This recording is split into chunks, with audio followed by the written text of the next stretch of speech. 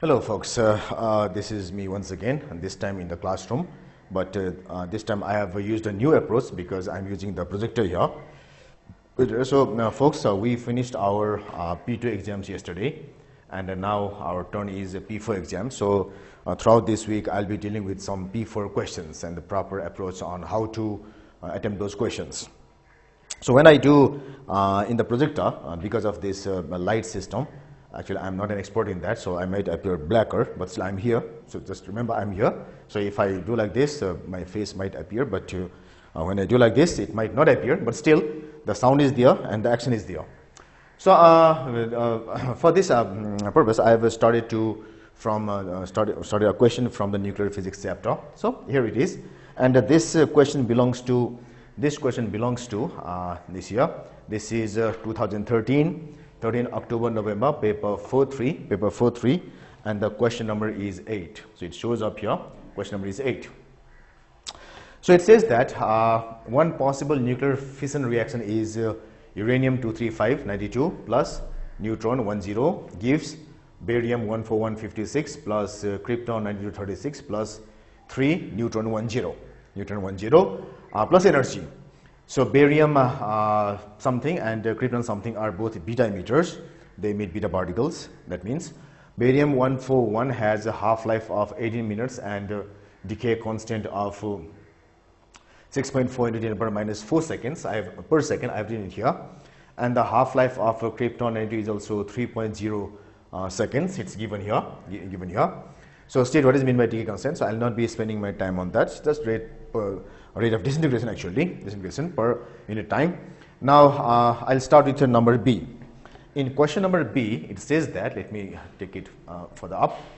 Uh, It says that a mass of 1.2 gram of uranium 235 undergoes this nuclear reaction in a very short time, few nanoseconds. Calculate the number of barium 141 nuclei that are present immediately after the reaction has been completed. So we have been given the mass of uranium 235 and we need to find the number of barium uh, 141 immediately after the uh, reaction has happened. So that means that uh, the number of barium atoms formed is equal to the number of uranium atoms present because one uranium is giving one barium. It's one to one. So what we need to do is first we need to find we need to find the number of uranium atoms before the reaction. And the number of barium atoms will be equal to that number. So for that purpose what we can do is let's remember one thing that so when we have a mass equal to mass equal to the uh, molar mass of a certain substance which is 235 gram here gram here. So when we have this this much gram is equal to equal to this will house this much number of molecules which is the avogadro number which is the avogadro number. So 235 gram of uranium will have this much number of atoms. So that means uh, 1.2 grams will give 6.023 into 10 to the power 23 into 1.2 divided it will be 235 so when i do calculations it will give me it will give me so let me use a calculator here. So this thing will give me uh, 6.023 exponent 23 into into 1.2 divided 235 so this thing has given me a value given me a value 3.3.008 into 10 to the power 21 so number of uranium atoms is equal to this much. So this means that this means the number of barium atoms, barium 141 nuclei, nuclei is equal to number of number of uranium 235 nuclei, nuclei, and that's equal to 3.08 into 10 to the power 21. So the answer is 3.08 into 10 to the power 21. Since this is a number, I don't have to write the units. So let me write it here, uh, the data that I might require later. So we have got number of, initial number of barium, barium atoms is equal to, barium atoms is equal to, atoms is equal to 3.08 into 10 to the power 21. And similarly, one thing that we also have to remember is the number of at krypton atoms also should be same because they're all one to one. So that's why I can write it here. Number of krypton atoms also is equal to 3.08 into 10 to the power 21. So this is the beginning. It's in the very beginning of the uh, beginning as soon as the reaction has happened. I, I, I can say like that. So now, so now the next question is, let me rub this. So this is the beauty of working in a projector. So uh, let me rub this. Now I am open for another round of questions. So this one says that using your answers in B1, the thing that we have just done, calculate the total activity of barium 141 and uh, krypton 92 at a time of one hour after the fission reaction has taken place.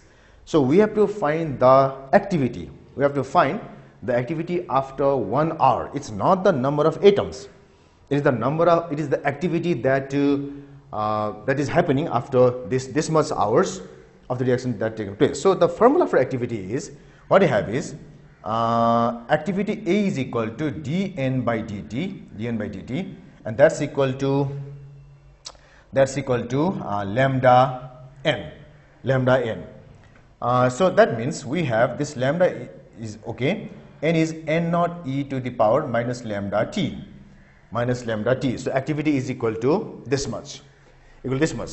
So now what we have is, here we have to find activity after some time. So we'll be using this uh, particular formula. So we have got uh, lambda here, we have got lambda here, and we have got uh, n naught here, e lambda uh, t once again. So this one hour will be here, one hour will be here, lambda will be somewhere here, lambda of barium, and uh, uh, n naught is there, barium's n naught of barium is this much.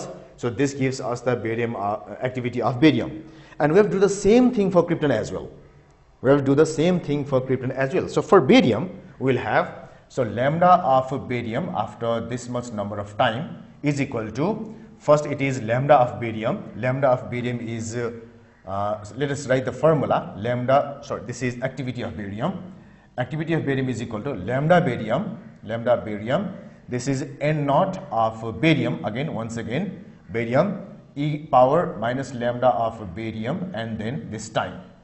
So that's equal to lambda of barium is equal to here we have got 6.4 into 10 to the power minus 4 into n naught is this much of barium it is 3.08 into 10 to the power 21 uh, e power e power then we have again lambda of barium which is 6.4 into 10 to the power minus 4 into the time now is 1 hour. 1 hour is equal to, we have to do it in seconds because this thing is in second. So in second it is 3600. So this will be 3600 seconds. So now we have to do this calculation. So this calculation will come out to be equal to equal to so somewhat a tough calculation. It might take uh, take a bit of uh, time. So uh, please be with me. so so so we have got shift this. So we have uh, uh, 3600 into into minus 0 0.00064 64 equal to yes uh, into 3.08 exponent 21 into 6.4 exponent minus 4 so this will be equal to, so this activity is equal to 1.9684 into 10 to the power 17 per second. So this is the activity of barium. Now when I do the same for krypton, first of all I have to find a lambda for krypton because it's not given here. Lambda barium given here, lambda krypton not given here. So lambda for, for krypton will be equal to, will be equal to 0.693 by T 0.5 half-life of krypton that's equal to 0.693 divided T 0.5 will be 3.0 so this becomes so this becomes what we have is 0.693 divided 3 equal to so it is 0.231 0.2231 so activity of krypton will be equal to lambda krypton NO of krypton krypton e power minus lambda krypton and then again time. So that's equal to so lambda of krypton is 0.231 into 3.08 into 10 to the power 21 e power minus 0.231 into 3600. So for krypton, the data is slightly different because uh, lambda is uh, not as less as that of barium. So this will be equal to, so let me do in the calculator, shift this uh, uh, 3600 into minus 0.231 1 1 1 equal to equal to so it is giving me uh, zero value. I don't know why it is giving me zero, zero value. Uh, so this uh, lambda is equal to this much. Shift E uh, minus 231 minus so, sorry sorry. Uh, minus 0.231 uh, into 3600 equal to.